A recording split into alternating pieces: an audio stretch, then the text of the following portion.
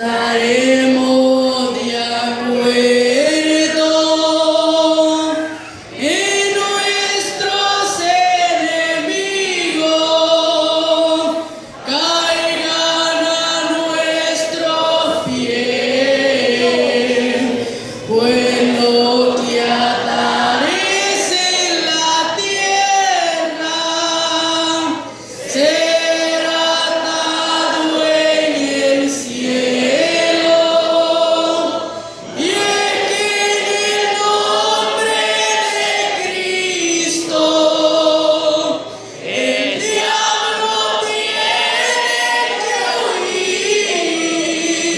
Jesus.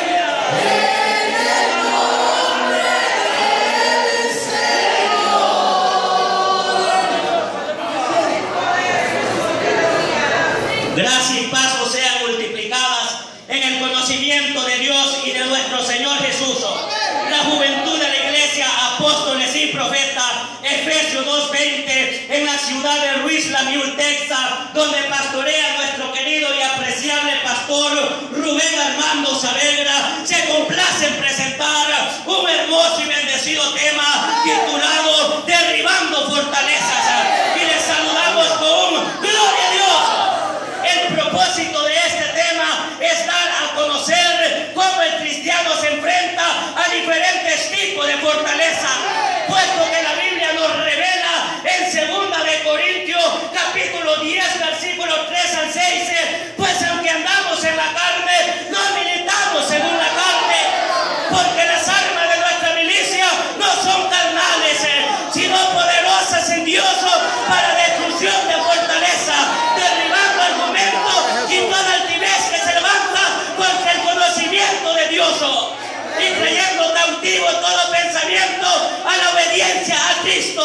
regresando pronto para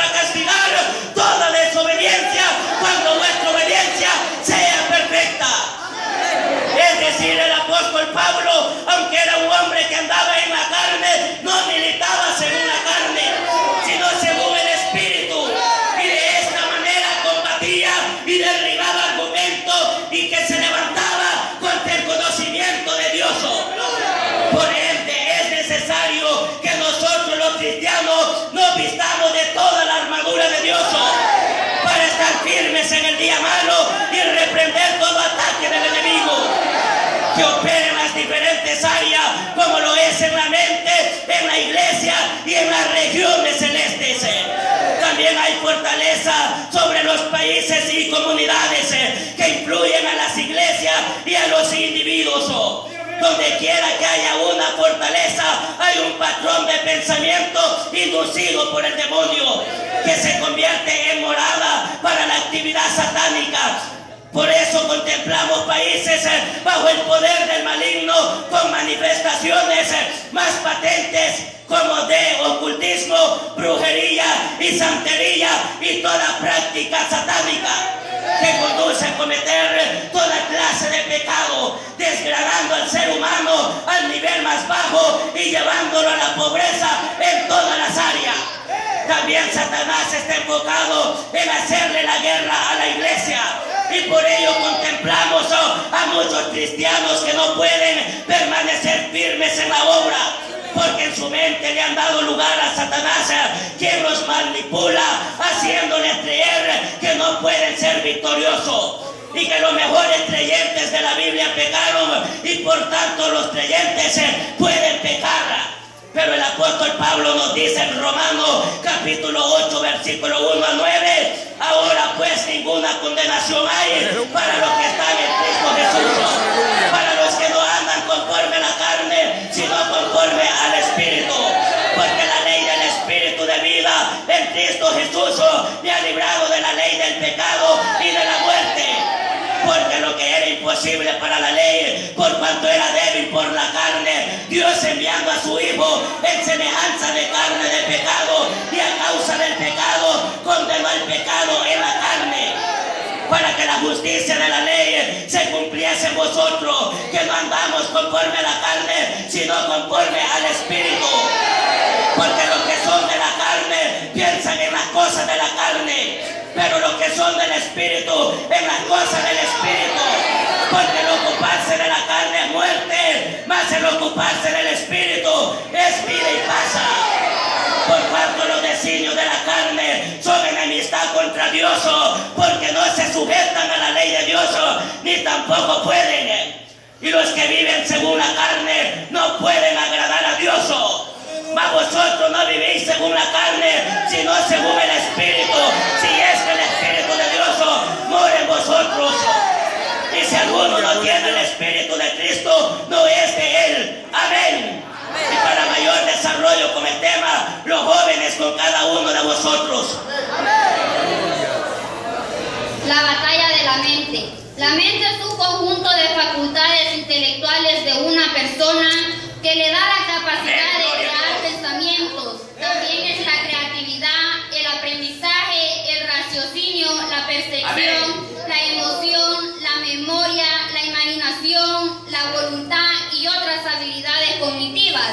La mente integra diversas facultades del cerebro que le permite reunir información, razonar y extraer conclusiones. Amén. Ahora que conocemos el concepto de la mente, podemos entender que es un Dios. campo de batalla espiritual, Amén. Aleluya. donde llegan malos y buenos pensamientos. Pero como hijos de Dios debemos hacer lo que agrada a la voluntad de Dios.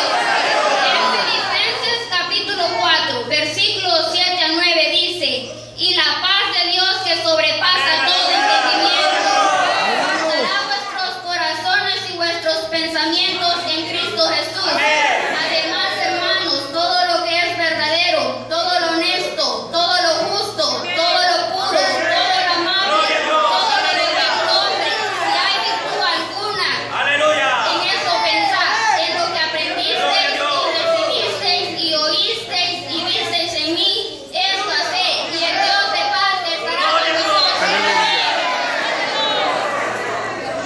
tomando una buena decisión, ya que sabemos que a la mente llegan buenos y malos pensamientos, es claro que para que haya pecado es necesario que haya una voluntad de pecar. Amén. Una cosa es tener tentaciones y otra es caer en ellas. Por ejemplo, cuando yo supero un mal pensamiento que cruza por mi mente, no he pecado. Todo lo contrario, realice una acción meritoria que fortalece mi voluntad. En cambio, cuando empiezo a consentir y a recrearme con ese mal pensamiento, debilito mi voluntad. exponiéndome a caer en acciones graves o pecados. En el Salmo capítulo 139, versículos 1 al 4 nos dice, Oh Jehová, tú me has examinado y conocido, tú has conocido que sentarme y levantarme, has entendido desde lejos mis pensamientos, has escudriñado mi andar y mi reposo, y todos mis caminos te son conocidos. Desahogo está la palabra en mi lengua, y he aquí, oh Jehová, tú la sabes toda. Para mayor desarrollo, analicemos los diferentes ataques en la mente. Amén. Una mente carnal es aquella que vive meditando en las cosas de la carne más que en las del espíritu. A esta mente no es que le vienen pensamientos carnales, sino que vive meditando en dichos pensamientos. Es decir, que hace un estudio preciso, conciso y detallado de los pensamientos carnales que al final lo conducen a vivir una vida en la carne. Debemos entender que pensar en las cosas de la carne no solo se limita a pensamientos exclusivamente malos. Los pensamientos carnales no lo define la naturaleza del pensamiento, Amén. sino la intención y el motivo que nos lleva a meditar en dichas cosas. Podemos estar meditando en lo bueno, pero Gloria a con Dios. motivos Aleluya. incorrectos. El- Muchos cristianos pueden estar pensando en las cosas de Dios, como llevar a cabo su obra con el fin de obtener lucro, fama, estatus, elogios. Gloria a Dios. Son pensamientos que proceden de la carne, del ego, y esto define y caracteriza que el pensamiento es carnal. No debemos permitir que estos No, pensamientos aleluya. gobernen nuestras Gloria a vidas. Puesto que la palabra de Dios dice, digo pues, andad en el Gloria a espíritu y Dios. no Aleluya. satisfagáis los deseos de la carne, porque los deseos de la carne es contra el espíritu y los del espíritu es contra la carne. Y estos se oponen entre sí para que no hagáis lo que Gloria a queréis. Dios. Pero si sois guiados por el espíritu, no estáis bajo la ley y manifiestas son las obras de la carne que son adulterio, fornicación, inmundicia, lascivia, idolatría, hechicería, enemistades, pleitos, celos, iras, contiendas, disensiones, Gloria a Dios. herejías, envidias, homicidios, borracheras, orgías y cosas semejantes a esto, de la cual os amonesto, como ya os lo he dicho antes, que lo que practican tales cosas no heredarán el reino de Dios. Gálatas capítulo 5, versículo 16 al 21. Amén. Una mente corrompida. El término corrompido significa alterar, podrir, pervertir, contaminar, dañar. La mente corrompida es aquella que ha llegado al nivel más alto de carnalidad. Es cuando en la mente hay un porcentaje superior de pensamientos carnales y muy pocos pensamientos del espíritu. Es impresionante observar cuántas personas cristianas profesan ser cristianas que cometen cosas despreciables siendo así el mismo reflejo de su propia corrupción interna. Si la mente es corrupta, no puede informar bien a la conciencia y esta tampoco puede advertir a la persona de su mala conducta. Aleluya. En cambio, si la, si la conciencia es infundida por completo en la palabra de, de Dios, funciona como el sistema de advertencia que Dios diseñó para el beneficio de la humanidad. En Tito capítulo 1, versículo 15 al 16 nos dice, todas las cosas son puras para los puros, pero para los corrompidos e incrédulos nada le es puro, pues hasta su mente y su conciencia están corrompidas. Profesan conocer a Dios, pero lo niegan con sus hechos, siendo abominables y rebeldes, reprobados en cuanto a toda buena obra. Amén. La mente entenebrecida es aquella que está totalmente escasa del conocimiento de Dios, producto de la falta de, de iluminación de la palabra. También podemos decir que significa oscurecido, sin luz, en tinieblas. Es por ello que personas que no han aceptado a Cristo son improntivos en el sentido intelectual. En lo referente a cuestiones espirituales y morales, sus procesos racionales son distorsionados e inadecuados, por lo cual siempre caerán en una producción de un, en una producción de un entendimiento piadoso o una vida moral. El resultado de su ceguera espiritual y moral voluntaria son ciegos, son ciegos y su corazón tiene la misma dureza de una piedra. Oigamos lo que la Biblia dice en Romanos capítulo 1, Gloria a Dios, versículo aleluya. 18 y 19. Porque la ira de Dios se, porque la ira de Dios se revela desde los cielos contra toda impiedad e injusticia de los hombres que detienen con injusticia la verdad. Pues porque Amén.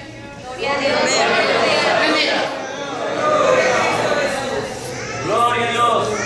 La mente vana o vanidosa. Esta clase de mente denota las características de ser inútil o de estar vacío, puesto que se fomenta el espejismo que lo aleja de la realidad, viviendo de las apariencias o manifestando lo que no es. Este estado de mente es el camino a delinquir, pues la ambición de poseer las riquezas o los bienes de este mundo lo conducen a la frustración, lo cual hace perder los principios morales que atentan con la voluntad de Dios. Es entendible que sin la iluminación del Espíritu Santo, la senda del hombre buscará cosas carentes de valor y obstinación, trayendo como consecuencia el caos total. Un ejemplo a seguir para no caer en la mente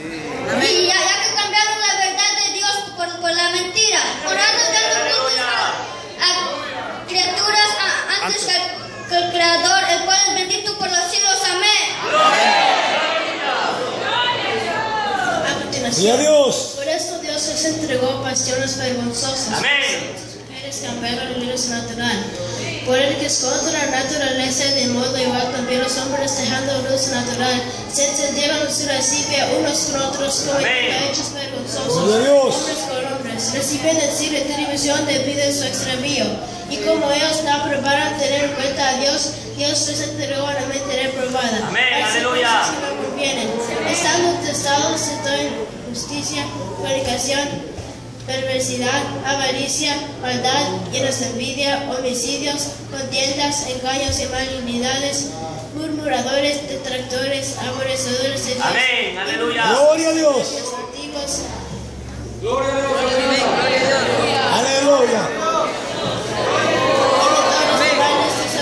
a los padres, deseos, desleales, sin afecto natural, implacables, sin misericordia, quienes habiendo entendido el juicio de Dios, que los que las practican son dignos de muerte. Amén, aleluya. Sino que se complacen, corazón que las practican. A. Aleluya. La mente espiritual. La única forma de tener una mente espiritual es meditando en los asuntos del Espíritu. Meditar en los asuntos del Espíritu indica meditar en la palabra de Dios. Amén. Meditar indica hacer un estudio preciso, conciso, detallado de los pensamientos. Entonces cuando meditemos en la palabra de Dios, nuestros pensamientos serán espirituales porque se ajustarán a la mente de Cristo. Gloria a Dios. Aleluya. Conocer los pensamientos del Señor que les son agradables. Por tanto, el Espíritu nos libera del pecado y la muerte. Amén, aleluya. para cumplir la ley de Dios. Cambia nuestra naturaleza y nos reviste de fortaleza para tener victo- victoria sobre toda naturaleza. victoria sobre toda naturaleza no redimida. También confirma nuestra adopción como los hijos de Dios y garantiza nuestra gloria eterna. Una mente espiritual hará que sus actitudes y comportamientos se ajusten a la voluntad divina sin presión, dando un testimonio público de nuestra naturaleza Amén. espiritual. Gálatas capítulo 5 versículos 22 al 26 nos dice, mas el fruto del Espíritu es amor, Amén, fe, mansedumbre, templanza. Contra tales cosas no hay ley pero los cristianos lo han crucificado en la cárcel con sus pasiones y deseos. Si vivimos por el Espíritu, andamos también por Dios. Amén, aleluya, gloria a Dios. Gracias, evitándonos unos a otros, envidiándonos unos a otros. Amén. Gloria a Dios. Derribando argumento, argumento, término del griego logismo que indica uno para oponerse a Dios y al Evangelio, debemos tomar en cuenta.